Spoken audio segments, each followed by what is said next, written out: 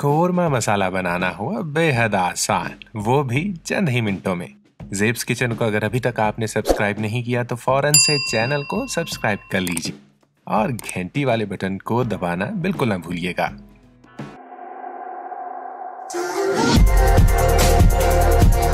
बिस्मिल्लाहिर्रहमानिर्रहीम। जेब्स किचन के एक और एपिसोड में आप सबको खुश आमदीद कहते हैं। घर पर कोरमा मसाला बनाने के लिए हमें जिन अज्जा की ज़रूरत है, उन अज्जा को बड़े ध्यान से नोट कीजिएगा। इसके लिए हमें जिन अज्जा की ज़रूरत है, उसमें हमें चाहिए होगा खुश्क धनिया, चार खाने के चम्मच, सौंफ हमें चाहिए एक खाने का चम्मच, ज़ीरा एक खाने का चम्मच, काली मिर्च एक खाने का चम्मच, इलायची पंद्रह अदद, लौंग पंद्रह अदद जयवत्री सात टुकड़े इसमें हम बड़े और छोटे मिक्स लेंगे। जायफल, एक अदद, दार चीनी का हम पाँच इंच का टुकड़ा लेंगे। बड़ी इलायची, सात अदद, लाल मिर्च, चार खाने के चम्मच, नमक, एक खाने का चम्मच, तेज पत्ता, तीन अदद, फिलफिल दराज या पिपली, दो अदद, और बादियान का फूल, एक अदद। ये थे जी अज्जा।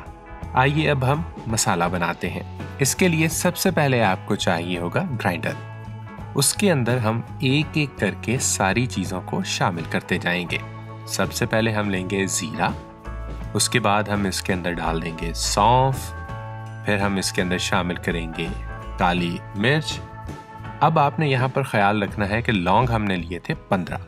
जिनमें से हम दस शामिल करेंगे और पाँच बचा लेंगे। और बिल्कुल इसी तरह से हमने इलायचियों को भी दस शामिल किया है और पाँच को हमने बचा लिया है।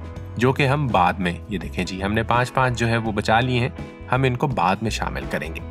उतनी देर हम बादियान का फूल हम इसके अंदर शामिल करेंगे। फिलफिल दराज या फिर पिपली इसको कहते हैं, उसको हमने शामिल किया। जायफल को हम इसके अंदर शामिल करेंगे।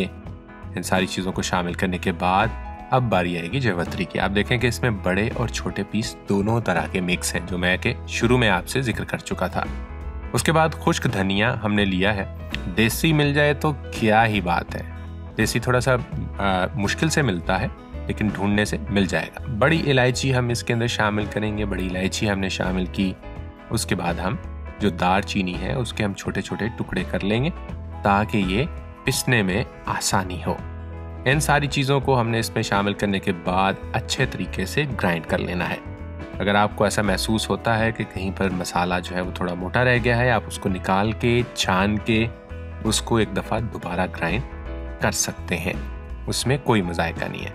हमारा जी, हमने इसको अच्छे तरीके से ग्राइंड कर लिया है। आप यहाँ पर देख सकते हैं कि ये मुकम्मल तौर पे पिस चुका है। हम इसको एक अलग बर्तन में निकालेंगे।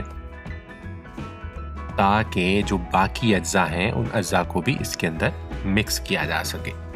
जैसा कि हमने जो इलायचियाँ बचा के रखी थी, वो हम इसके अंदर शामिल कर देंगे।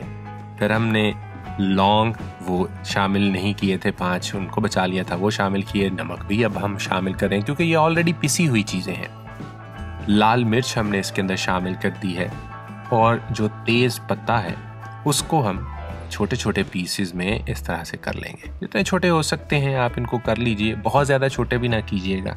लेकिन ये है कि अच्छे तरीके से इसमें छोटे छोटे इनके पीसेस करके आप इसको इसमें शामिल कर लें और सारे मसाला जात को अब अच्छे तरीके से मिक्स कर लें। अब आप किसी भी एयर टाइट जार के अंदर इसको महफूज रख सकते हैं। जब भी कौरमा बनाएँ, उसके अंदर इस मसाले को शामिल करें और ढेर सारी दुआओं में हमें याद रखें। उम्मीद करते हैं कि जी आपको ये रेसिपी पसंद आई होगी। कमेंट करके हमें लाजमी बताइएगा कि हमारी वीडियोस आपको कैसी लगती हैं। इंशाल्लाह किसी दूसरी वीडियो में आपसे मुलाकात होगी। मुझे दीजिएगा इजाज़त। टेक केयर अल्लाह हाफिज़।